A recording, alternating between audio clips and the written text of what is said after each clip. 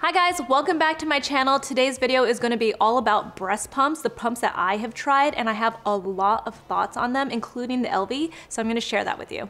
So first off, let's talk about the pump that I disliked the most, and that was my very first pump, and that's the pump that I used with my first child, Nikosh, and that was the Medela Pump Style. Does it work?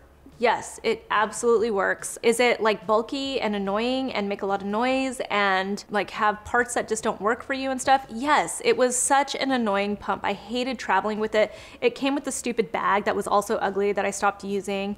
Um, I felt like there were a lot of parts to it and it kept malfunctioning on me where I would like have to call the company and be like, what's going on with this and they'd have to explain to me and i don't know i just felt like there were so many pieces i had to keep cleaning and stuff and it was just very very annoying to me it just felt like it was a big bulky thing that like felt a little archaic um, for a breast pump. I felt like even when I used it at work and stuff, I had to go into like a separate room or I found myself in bathrooms often, which I find very disgusting when you're actually trying to like pump out the food that you're gonna give your baby, you're like in a disgusting bathroom that you wouldn't wanna touch at all. You wouldn't wanna touch anything. Like the food that you're giving your baby, you have to like find yourself in a bathroom.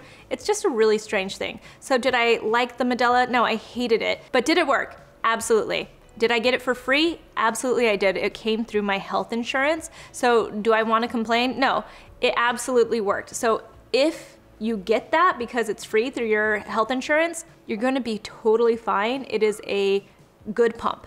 It works. It does what it's supposed to do. I prefer to keep it at home though. It's one of those that's like if you can keep it like on your kitchen counter and plugged in, then you're good to go.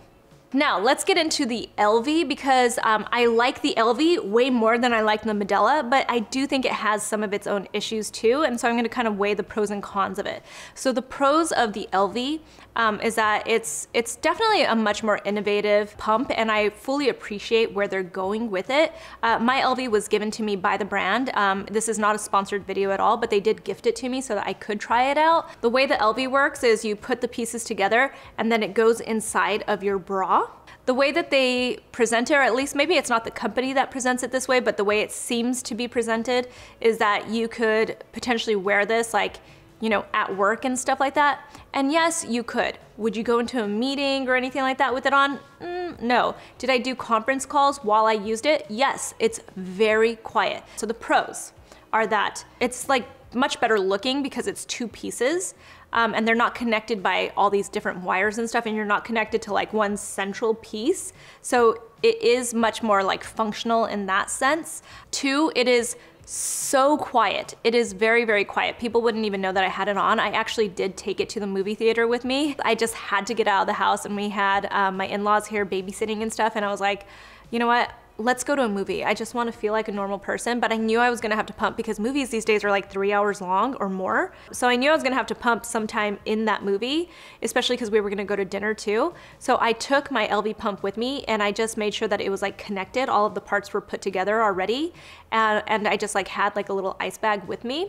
And during the movie, I very, very secretly popped it into my bra and I pumped and it was awesome. Nobody knew that I had it. It just had like a little light that was kind of like, there were like little lights in that dark theater that were kind of popping out, but I also had a sweater over my shirt. So nobody knew I was pumping during the movie. So that tells you how discreet the actual Elvie pump is. Could you walk around and like people wouldn't know that you're pumping? No, it's not that discreet. It's a bulky pump still, but is it genius in the sense of like it's very discreet? Like in different situations? Yes. Like, could I see you using it at your desk? Probably. Um, the thing that I would say to keep in mind is I do find it to be a little bit messy. And this is actually like with all of the pumps I've used, you have to have like a napkin with you when you're taking it off because some milk will drip off. I did find that like if there were times when I didn't connect it completely or connect it right, I would feel it like dripping a little bit and then I'd have to, re I'd realize like, oh my gosh, I'm leaking all over the place. I didn't connect it right. So then that would get messy. So that's something to keep in mind if you're gonna be like driving with it to work or something and using it like in, in like a public area. You might wanna have an extra shirt with you in case it gets messy. Another con I'm, I'm kind of going with the cons of it. You can't really see the amount of milk that you're pumping. You can keep track of it on your app. I will also throw out there, you don't have to use the app. The app was very intimidating to me to like have to like log into my app to use it. And it turned out you never have to use the app. I think it's like a great idea, but you don't have to use the app and it's kind of like whatever anyway. So the, the problem with that is you can't really see how much milk you're pumping. The bottle that holds the milk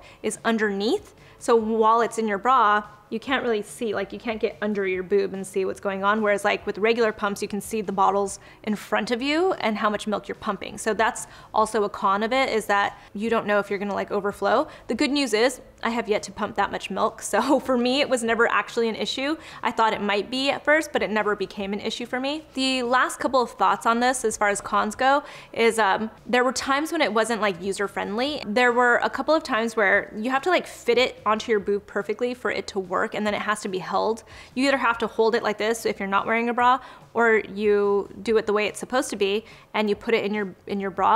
But if it's not on there correctly, there are these little um, pieces on there where your nipple's supposed to fit in like perfectly. And if you don't get that perfect, I found, then you didn't really pump a lot of milk. And in general, I found that the Elvie just didn't pump as much milk as a normal pump usually does. You get like a quarter less milk, if that makes any sense. Like you get just a touch less milk using the Elvie. and I think it's because it's just not as strong. When you look at your nipples, it's this is like TMI, but when you look at your nipples inside, when you're using those other pumps, you can see like your nipples are like being almost like stretched out and it's almost like horrifying to watch happen. But you know it's like really sucking all that milk out. Whereas with the Elvie, it didn't it never felt like that right? So it's like it's a nicer pump to use because it's not like stretching the hell out of your nipples. But at the same time you I felt like I wasn't getting as much milk. And so if that matters to you and you're trying to like build up like storage or you're trying to like do that kind of thing, then that that's something to take into account. Now for the pros of this, like I said, I discreetly used it in a theater. I think it'd be great for driving. You know, if you are sitting at your desk and stuff,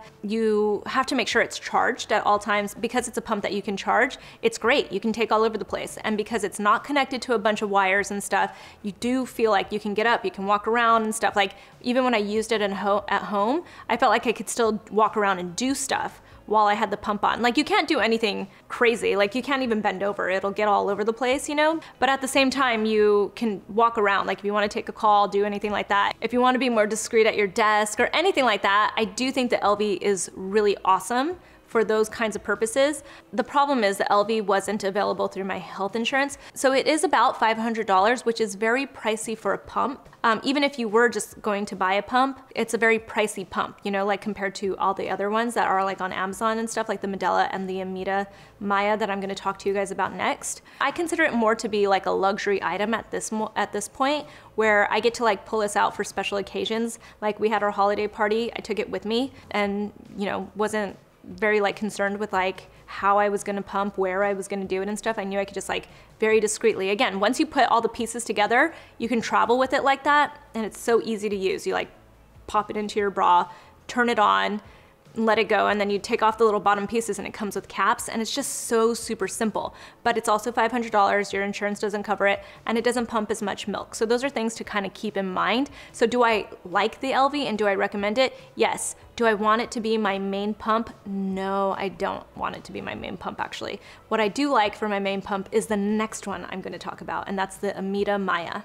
All right, so the Ameda Mya, um, I'm gonna kind of break it down the way I did with the Elvie. Um, I will say, as of right now, it's my favorite pump. Does it have its own issues? It does. I don't think there is a perfect breast pump on the market, at least not that I've heard of, and not that I have personally tried. And when I talk to my girlfriends, they all seem to have the same complaints. It's all kind of like relative and dependent on what you're looking for in a pump. Um, so the Ameda Mya, I don't even know if I'm saying it right. The things I like about the Ameda Mya is one, is it like your traditional breast pump? Yes, you're gonna get like all of your needs met. And what I mean by that is it gets a lot of the milk out. It functions pretty much the way I've seen all the other breast pumps out there on the market function. It's got the two little tubes that connect to the centerpiece. You connect it with the bottles. It's got like the little cups, you know, that you put onto your boobs and then you can use it with like, you know, a breast pump bra and stuff. It's very typical in that sense and it gets lots of milk out.